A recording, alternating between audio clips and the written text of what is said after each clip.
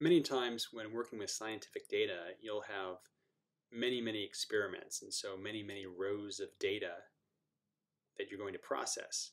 And you could use your data and a calculator to calculate the things you want to calculate. But if you've got a hundred different data points and you wanted, for instance, to take the sine of those data points, it would be an awful lot of work. So using spreadsheets can save you that unnecessary work. So for instance, let's say I wanted to graph the sine of x. So I could have two columns, I'll label them x and the sine of x. And I want to do a bunch of values and then see uh, what their sine is. Now I could do this with a calculator, but like I said, this would be a lot of work. So instead, what we'll do is generate the x column and notice that these are spaced out by uh, 0.1. So if I just drag down, it's going to assume that I want a data series.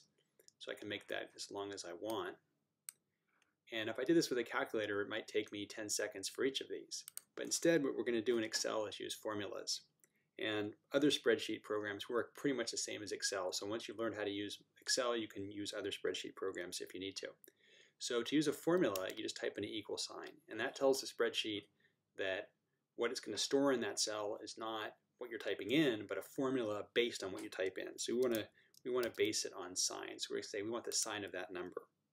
Now the cool thing about formulas is that when you copy them, they're copied in a relative way. So this formula, which says take the sine of whatever in cell A2, so this is A2, when we copy it, it will adjust itself to the other cells. So I can copy a couple of different ways. I can copy and paste. I can actually just grab this little handle here and pull down. Or if I double click on that handle, it'll just automatically go to the bottom. Okay, You can see it's an awful lot faster than um, doing things by hand. So if I wanted to use this to generate a graph of a, of a sine wave, I could just take this and get all my data and then I could insert a graph. So we'll say we want to, usually the graphs we're going to do are going to be scatter plots. Okay, so looking at this, I say, oh, you know what, the data points are too close together. We can't really see that it's a sine wave. So the cool thing about spreadsheets is we don't have to redo all our work.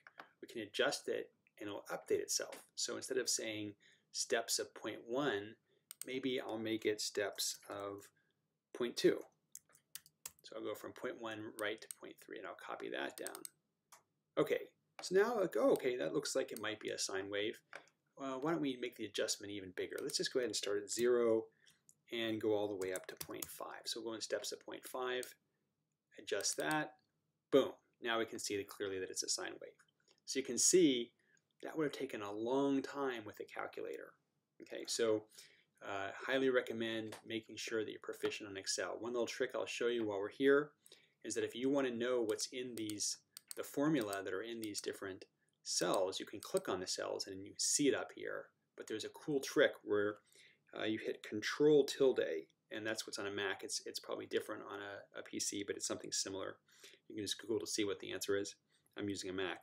So I do Control tilde, and tilde is the little squiggle that's on the upper left of your keyboard. So Control tilde, and that toggles it so it shows instead of the numbers it shows the formula and I can toggle back by doing control tilde again so that's a, a great way to look at all the formula on your sheet